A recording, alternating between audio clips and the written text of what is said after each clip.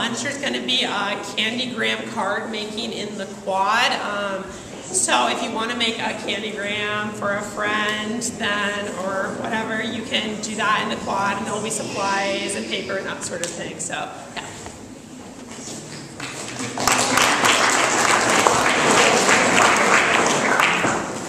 So Saturday at 4.30, right here, is the choral winter concert. It's winter time. All the choral all the choral musicians will be part of that concert, and you're all invited. It's free, it's right here. And on in with that, music students, please watch your schedule for this week because it's different. Okay, all the choral stuff's on haiku. I have every reason to believe that Dr. Clevin and Mr. Daly have communicated with you the changes. This week is different from every other week, music students. Please be on top of that, top of that schedule. Thank you.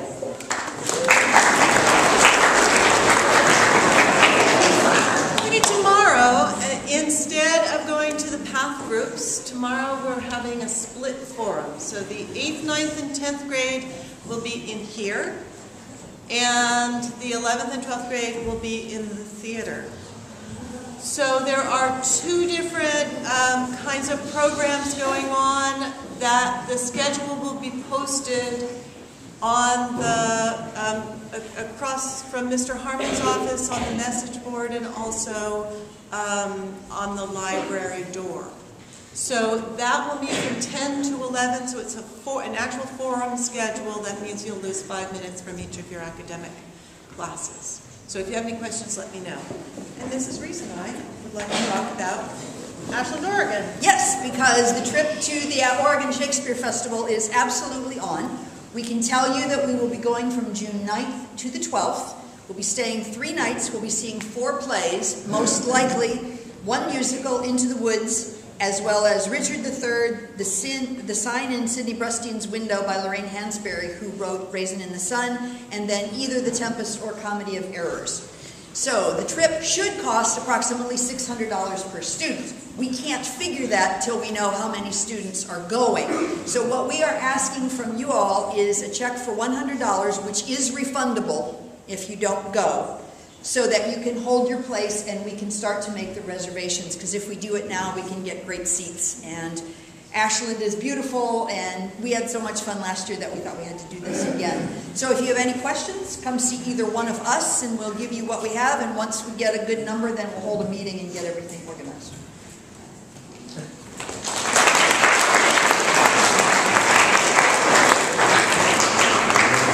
Good morning, welcome back. It's that time of year where we return from a brief but welcome uh, break from academic time and then come back to what might feel like a rather compressed six days of academic classes followed by two days of review before we go into end of semester exams starting on Thursday, December 12th. So just a few words about this week and the coming exam period. While uh, seniors know that first semester grades are important because they are reported to colleges and universities for which they would like to be admitted, um, all other students should keep in mind that first semester exams are used as a diagnostic by teachers to let us know where you are at at this point in the year, and we report at first quarter in first quarter comments a grade for each class, but it's only your end of year grade that is reported on the transcript. So first semester exams are a great time to find out where you're at at this point in the year, to put your best foot forward, to study, and to give us an opportunity to give you some important feedback as to your progress. At the end of today, on the York blog, Facebook, and Haiku, this beautiful color-coded spreadsheet of the exam schedule uh, will be posted with uh, which rooms and which days and which time of day certain exams um, are to be sat. And what you want to be doing this week is talking with your teachers about any conflicts that you see. If you have a singleton course that is a conflict um, with another singleton course, Um, if you have two courses that have exams at the same time, speak with your teachers about um, how to problem solve that um, so that we can help you. The other thing that will be posted there would be a couple pages of really valuable resources with regards to prepping for exams. Thanks.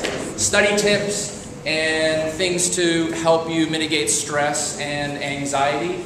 And we highly recommend that you take that you take a look at that. We'll be reviewing that with you in the in the coming days. There are two techniques from cognitive psychology and recent neuroscience that are particularly beneficial for you. Um, one is what we call distributed practice, and um, the other is what we, well, let me talk about distributed practice first. Distributed practice basically gets the idea that it's not of value for you in terms of your long term retention to cram for exams. So we're recommending that you take a look at the exam schedule and that you break up your studying in the coming two weeks so that you are uh, chunking your studying and giving yourself time to review material so that you can aid your uh, long-term retention. Um, the other technique with regards to practice gets to the idea that um, retrieval practice or practice testing can also strengthen your retention. And the best technique from neuroscience right now with regards to retrieval practice is using flashcards. And so there'll be some links um, to sites that you might be available, uh, that, that, you might be aware of, such as Quizlet, where you can build digital flashcards, or you're welcome to build analog flashcards if you'd like to use those to help with your studying. Please speak with all of your individual teachers about any study techniques that they recommend for those uh, individual courses, and we're looking forward to um, a great exam period for you at the end of the semester. Thanks.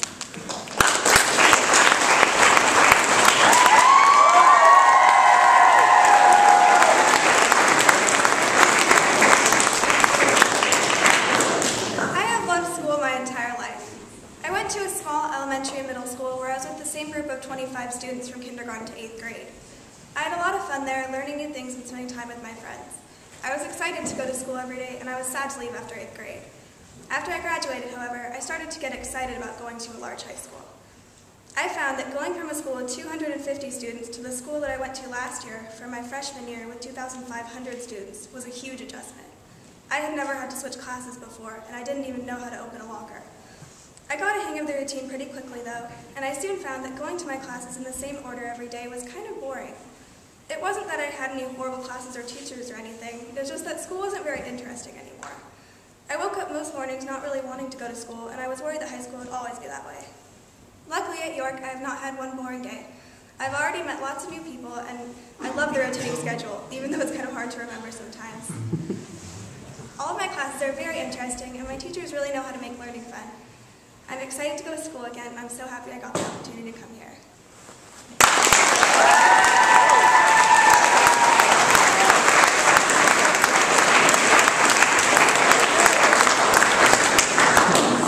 So this week we're having like a mini holiday spirit week. So it's going to start Wednesday with holiday hat day and there's going to be crisp, like a Christmas caroling competition in the quad.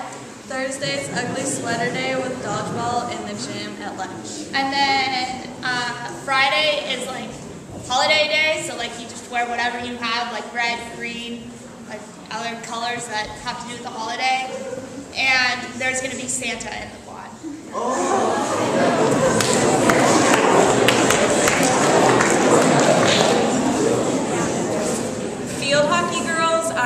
still need your coach's gift money, your senior gift money, and Mallory still needs your shirt money and all the equipment if you still need to turn any of those in. So please turn those in by this week.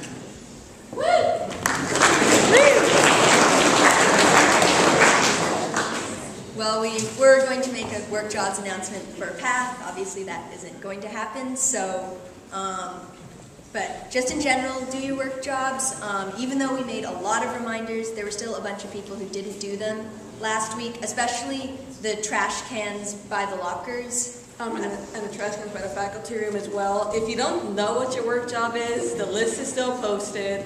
It's been posted since we've um, since like a couple months actually. Um, you probably pass by it every day, multiple times. if you don't know what your work job is, it's behind Mr. Harmon's office, like at the little corner of like the business office and like the water fountain. So just, if you don't know what it is, um, um, look it up. It's organized in alphabetical order by path, uh, um, path group, so it's pretty easy for you to find your work job. Um, next time we have like normal path, um, we're probably gonna have a little thing about work jobs then, so just be expecting that for next D-Day. Um, a lot of the supervisors have been doing really well supervising, making sure people actually do things. Keep that up, and the people who didn't do that start doing that. And um, supervisors keep informing us who does and who doesn't do their work job. That's really helpful. Thank you.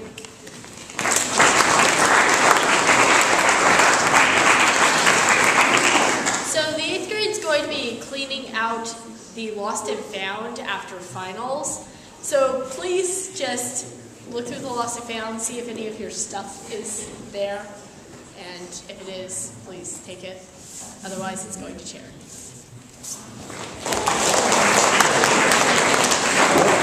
Again, JSA bake sale IOUs. There are still four of you out of the five from last week that still owe me cash.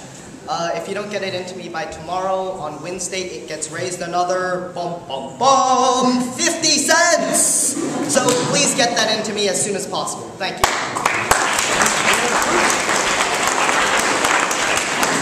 There's still some IOUs for the root beer float sale, so just turn them into me. Thank you. And Keith Love IOUs, we still need your money.